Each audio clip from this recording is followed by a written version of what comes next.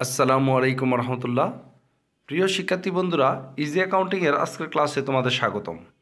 আজকে আমরা BBA third ইয়ারের ম্যানেজমেন্ট অ্যাকাউন্টিংয়ের একটি চ্যাপ্টার ক্যাশ বাজেট নিয়ে আলোচনা করব। এবং একই সাথে এই চ্যাপ্টার থেকে বিবিএ ফোর্থ ইয়ারের ওয়ার্কিং ক্যাপিটাল ম্যানেজমেন্টের দ্বিতীয় চ্যাপ্টারেও ম্যাথ আসে। তো আমাদের এই ক্লাসটি মূলত থার্ড ইয়ার এবং বিবিএ ফোর্থ ইয়ারের অ্যাকাউন্টিং ডিপার্টমেন্ট এবং বিবিএ ফোর্থ ইয়ারের অ্যাকাউন্টিং ডিপার্টমেন্টের জন্য এবং বিবিএ থার্ড ইয়ারের অ্যাকাউন্টিং এবং ম্যানেজমেন্ট উভয় ডিপার্টমেন্টের জন্যই এই ক্লাসটি তৈরি করা। তো সবাইকে আমাদের ক্লাসটি দেখার জন্য আমন্ত্রণ রইল। আজকে আমরা যে ম্যাথটি সলিউশন করব, সেটি বিবিএ ফোর্থ ইয়ারের ওয়ার্কিং ক্যাপিটাল ম্যানেজমেন্টে প্রশ্নে দু হাজার সতেরো সালে এসেছিল। তো আমাদের ক্লাসটি দেখার জন্য সবাইকে আমন্ত্রণ রইল। এবং এখনও যারা আমার চ্যানেলটি সাবস্ক্রাইব করেনি, তারা অবশ্যই সাবস্ক্রাইব করে আমাদের সাথেই থাকবা এবং আমাদেরকে কমেন্ট করে জানাবা আমাদের ক্লাসগুলো তোমাদের কেমন লাগল। তো চলো আমরা আমাদের ক্লাসটি শুরু করি। আমরা স্ক্রিনে একটি কোয়েশ্চেন দেখতে পাচ্ছি। কোয়েশ্চেনে লেখা আছে a company is making for stock and in the first quarter of the year is assisted by the bankers with the bank overdraft accommodation the following are the relevant budget figure অর্থাৎ একটা কোম্পানির তার ব্যাংকারের কাছ থেকে bank ওভারড্রাফের একটা সুবিধা দেওয়া আছে মানে সুবিধা পায় তারা, এবং আমাদের তাদের বাজেটের জন্য নিম্নলিখিত ফিগারগুলো দেওয়া আছে। বাজেটটা তৈরি করা হবে first quarter of the year অর্থাৎ বছরের প্রথম তিন মাসের জন্য, অর্থাৎ জানুয়ারি ফেব্রুয়ারি মার্চের জন্য। আমরা দেখতে পাচ্ছি নভেম্বর থেকে মার্চ পর্যন্ত ক্রেডিট সেলস দেওয়া আছে ক্রেডিট পার্সেস দেওয়া আছে ওয়েজেস অ্যান্ড এক্সপেন্স দেওয়া আছে। নিচে বলা আছে given the following further information you are required to prepare the cash budget for the quarter of January to March January থেকে মার্চের পর্যন্ত আমাদের একটা ক্যাশ বাজেট তৈরি করতে হবে, নিচের ইনফরমেশনগুলোর উপর ভিত্তি করে।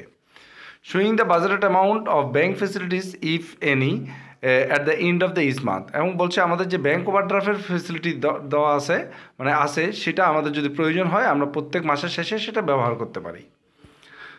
এ নম্বরে বলা আছে budgeted cash at bank as first January to first January fifteen thousand অর্থাৎ জানুয়ারি মাসের এক তারিখে আমাদের পনেরো হাজার টাকা ক্যাশ ব্যালেন্স আছে।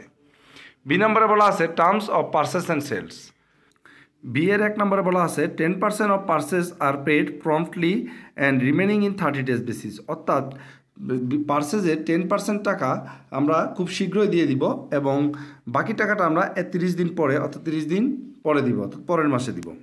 দুই নম্বরে বলছে credit sales are collect collected fifty percent in the month of sale and made and the fifty percent the following month অর্থাৎ ধারে বিক্রয়ের পঞ্চাশ পার্সেন্ট টাকা যেই মাসে বিক্রয় করা হয় সেই মাসে পাওয়া যায় এবং বাকি পঞ্চাশ পার্সেন্ট টাকা তার পরের মাসে পাওয়া যায়।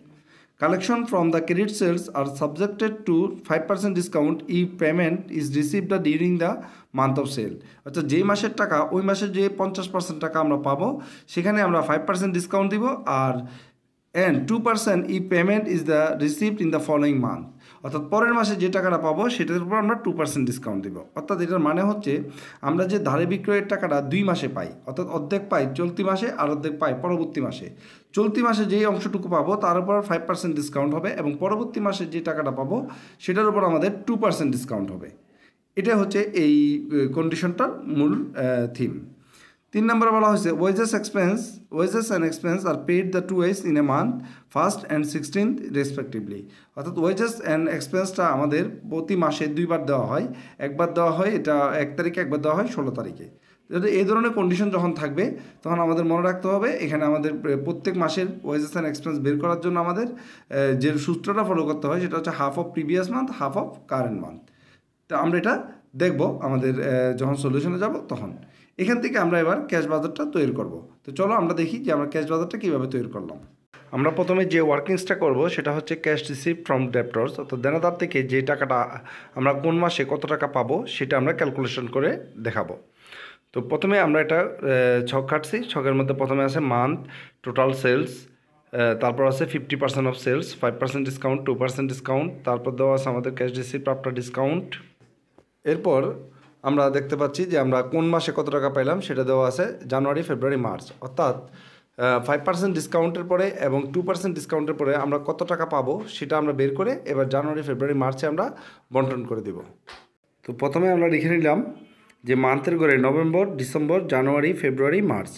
এরপর টোটাল সেলস যেটা দেওয়া আছে আমাদের ক্রেডিট সেলস সেটা টোটাল সেলসের করে আমরা লিখলাম। এরপর এই সেলসে যেহেতু আমরা চলতি মাসে পাবো পঞ্চাশ পার্সেন্ট এবং পরবর্তী মাসে পাবো পঞ্চাশ পার্সেন্ট তাই আমরা এখানে পঞ্চাশ পার্সেন্ট টাকাটা বের করে নিলাম। অর্থাৎ আমরা দুই লাখ টাকার মধ্যে এক লক্ষ টাকা এখন পাবো আর বাকি এক লক্ষ টাকা পরের মাসে পাবো। তাই আমরা এখানে অর্ধেক করে নিলাম। এরপর আমরা বের করে নিলাম ডিসকাউন্ট অর্থাৎ ফাইভ পার্সেন্ট ডিসকাউন্ট কত আসে এবং টু পার্সেন্ট ডিসকাউন্ট কত আসে। এরপর আমরা ক্যাশ রিসিপ্ট আফটার ডিসকাউন্ট অর্থাৎ ফাইভ পার্সেন্ট ডিসকাউন্ট দেওয়ার পরে আমরা কত টাকা আদায় করতে পারব আর টু পার্সেন্ট ডিসকাউন্ট দেওয়ার পরে আমরা কত টাকা আদায় করতে পারব সেটাও আমরা বের করে নিলাম। আমরা বের করব যে আমরা জানুয়ারি, ফেব্রুয়ারি, মার্চে কত টাকা পেলাম সেটা আমরা এখন বের করে নিব। আমাদের কোয়েশ্চেনে বলা ছিল যে বিক ধারে বিক্রয়ের যে টাকাটা সেটা ফিফটি পার্সেন্ট টাকা ওই শীঘ্রই পাওয়া যায় এবং বাকি ফিফটি পার্সেন্ট টাকা পরের মাসে পাওয়া যায়। এবং বলা ছিল আমাদের যে যে মাসের টাকা, ওই মাসে যে অংশটুকু আমরা পাবো, তার উপর ফাইভ পার্সেন্ট ডিসকাউন্ট আর তার পরের মাসে যে অংশটুকু পাবো, তার উপর টু পার্সেন্ট ডিসকাউন্ট অর্থাৎ আমরা যেই মাসে বিক্রি করব, সেই মাসে যে অর্ধেক টাকা পাবো, তার উপর ফাইভ পার্সেন্ট ডিসকাউন্ট দিতে হবে, আর পরের মাসে যে অর্ধেক টাকা পাবো, তার উপর টু পার্সেন্ট ডিসকাউন্ট দিতে হবে। তো প্রথমে আমরা দেখি যে, নভেম্বর মাসে আমরা বিক্রয় করেছিলাম দুই লাখ টাকা, এটার অর্ধেক করলে হয় এক লক্ষ টাকা। এখন এই এক লক্ষ টাকার যদি ফাইভ পার্সেন্ট ডিসকাউন্টে আমরা পাই, তাহলে আমরা পাবো পঁচানব্বই হাজার টাকা আর টু পার্সেন্ট ডিসকাউন্টে পেলে আটানব্বই হাজার টাকা। কিন্তু নভেম্বরের টাকাটা আমরা অর্ধেক পাবো নভেম্বর মাসে আর অর্ধেক পাবো ডিসেম্বর মাসে। তো যেহেতু আমাদের বাজেটের যে ডিউরেশন সেখানে নভেম্বর, ডিসেম্বর নাই, জানুয়ারি থেকে মার্চ পর্যন্ত, তাই এই নভেম্বরের টাকাটা এখানে কোথাও বসবে না। এরপর আমরা দেখি ডিসেম্বর মাস। তো ডিসেম্বরের অর্ধেক টাকা হচ্ছে চৌষট্টি হাজার টাকা। সেই চৌষট্টি হাজার টাকার ফাইভ পার্সেন্ট ডিসকাউন্টে যদি আমরা পাই, তাহলে পাবো ষাট হাজার আটশো টাকা। আর যদি আমরা টু পার্সেন্ট ডিসকাউন্টে পাই, তাহলে বাউন বাষট্টি হাজার সাতশো বিশ টাকা। তো ডিসেম্বরের টাকা আমরা ডিসেম্বরে অর্ধেক পাবো, আর বাকি অর্ধেক পাবো আমরা জানুয়ারিতে। তাহলে যে জানুয়ারিতে যে অর্ধেক টাকা পাবো, সেটা আমরা টু পার্সেন্ট ডিসকাউন্টে পাবো। কারণ চলতি মাসেরটা চলতি মাসে যদি পাই আমরা, তাহলে ফাইভ পার্সেন্ট আর পরের মাসে পেলে টু পার্সেন্ট তাই ডিসেম্বরের টাকাটা টু পার্সেন্ট ডিসকাউন্টে আমরা জানুয়ারিতে পাবো বাইষট্টি হাজার সাতশো বিশ টাকা। তাই এখানে আমরা টু পার্সেন্ট ডিসকাউন্টের টাকাটা বাষট্টি হাজার সাতশো বিশ টাকা বসাই দিলাম। এরপর জানুয়ারির টাকাটা আমরা ফাইভ পার্সেন্ট ডিসকাউন্টে জানুয়ারিতে পাবো আর টু পার্সেন্ট ডিসকাউন্টে আমরা পাবো ফেব্রুয়ারিতে। তাই আমরা জানুয়ারিতে ফাইভ পার্সেন্ট ডিসকাউন্টে জানুয়ারি করে একাশি হাজার সাতশো টাকা বসাই দিলাম আর টু পার্সেন্ট ডিসকাউন্টে চৌরাশি হাজার দুশো আশি টাকা ফেব্রুয়ারি করে বসাই দিলাম। একইভাবে ফেব্রুয়ারির টাকার মধ্যে আমরা যেটা ফাইভ পার্সেন্ট ডিসকাউন্টে ফেব্রুয়ারিতে পঞ্চান্ন হাজার একশো এবং টু পার্সেন্ট ডিসকাউন্টে মার্চে ছাপ্পান্ন হাজার চারশো আটশো চল্লিশ টাকা বসাই দিলাম। আর মার্চের ক্ষেত্রে শুধুমাত্র মার্চের যে ফিফটি পার্সেন্ট টাকা সেটা আমরা পাবো। তাই মার্চের টাকা মার্চের যে অংশটুকু পাবো সেটা ফাইভ পার্সেন্ট ডিসকাউন্টে সাতাশি হাজার চারশো টাকা আমরা বসাই দিলাম। এরপর আমরা টোটাল এর ঘরটা যোগ করে দিব। এবার আমরা দেখি যে জানুয়ারিতে আমাদের টোটাল রিসিপ্ট হচ্ছে এক লক্ষ চুয়াল্লিশ হাজার চারশো বিশ টাকা, ফেব্রুয়ারিতে রিসিপ্ট হচ্ছে এক লক্ষ উনচল্লিশ হাজার তিনশো আশি টাকা, আর মার্চে রিসিপ্ট হচ্ছে এক লক্ষ চুয়াল্লিশ হাজার দুইশো চল্লিশ এবার আমরা বের করব ক্যাশ পেমেন্ট টু ক্রেডিটর্স অর্থাৎ পাওনাদারকে আমরা কত টাকা দিয়েছি আমরা সেটা এখন বের করে নিব। তো আমরা ছকের মধ্যে প্রথমে November, December, January, February, March মান্থগুলো লিখে নিলাম। এরপর টোটাল যে পার্সেস দেওয়া আছে, সেই টোটাল পার্সেসটাও আমরা এনে বসাই দিলাম। এবার আমরা দেখি যে পার্সেসের কন্ডিশনটা ছিল ten percent of purchase are paid in promptly and remaining thirty days basis অর্থাৎ দশ পার্সেন্ট পার্সেস শীঘ্রই পরিশোধ করবে এবং বাকিটা তিরিশ দিন পরে পরিশোধ করবে। তাই আমরা এখানে পার্সেসটাকে ভাগ করে নিলাম টেন পার্সেন্ট আর নাইনটি পার্সেন্ট তো টেন পার্সেন্টটা আমরা যেই মাসে ক্রয় করব, সেই মাসেই দিতে হবে, যেহেতু শীঘ্রই দিতে হবে। আর বাকি যে নাইনটি পার্সেন্ট আসে, সেটা আমরা দিব তার পরের মাসে। তো নভেম্বরের যে বিক্রয় ক্রয়টা ছিল আমাদের তিপ্পান্ন হাজার টাকা, সেটা টেন পার্সেন্ট টাকা আমরা নভেম্বরে দিব আর নাইনটি পার্সেন্ট টাকা আমরা ডিসেম্বরে দিব। যেহেতু এখানে আমাদের নভেম্বর, ডিসেম্বর কোনো মাসই বাজেটের আওতায় পড়ে না, তাই এটার কোনো কাজ আমরা করব না। এবার ডিসেম্বর মাসের যে টাকাটা আছে, সেটা ডিসেম্বরে টেন পার্সেন্ট আর জানুয়ারিতে দিব আমরা নাইনটি পার্সেন্ট টাকা। তো ডিসেম্বর তো আমাদের ক্যাশ বাজেটের আওতায় পড়ে না তাই আমরা এটা ডিসেম্বরের টাকাটা লিখতাম না শুধু আহ, নভ জানুয়ারির যে টাকাটা নাইনটি পার্সেন্ট সেটা আমরা জানুয়ারির করে বসাই দিলাম। একইভাবে ফেব্রুয়ারির টেন পার্সেন্ট টাকা ফেব্রুয়ারিতে আমরা পরিশোধ করব এবং নাইনটি পার্সেন্ট টাকা আমরা মার্চে দিব। তাই টেন পার্সেন্ট আমরা ফেব্রুয়ারিতে দিলাম আর নাইনটি পার্সেন্ট আমরা মার্চে দিলাম। সেম কাজটা আমরা এখানে করব, যে মার্চের যে টাকাটা সেটা টেন পার্সেন্ট মার্চে আর নাইনটি পার্সেন্ট যাবে এপ্রিলে। যেহেতু এপ্রিল আমার বাজেটের পিরিয়ডের মধ্যে নাই, তাই আমরা এপ্রিলের টাকাটা বাদ দিয়ে শুধুমাত্র টেন পার্সেন্ট টাকাটা মার্চের করে বসাই দিলাম। এরপর আমরা যোগ করে দিলাম total cash payment to creditors, অর্থাৎ ক্রেডিটর্সকে আমরা টোটাল কত টাকা দিলাম সেটা আমরা বের করে নিলাম যোগ করে। জানুয়ারিতে এক লক্ষ দুই হাজার ছয়শো টাকা, ফেব্রুয়ারিতে এক লক্ষ বাষট্টি হাজার দুশো টাকা, আর মার্চে এক লক্ষ একষট্টি হাজার ছয়শো টাকা। এবার আমরা দেখব cash paid for wages and other expense বা এক্সপেন্সের জন্য।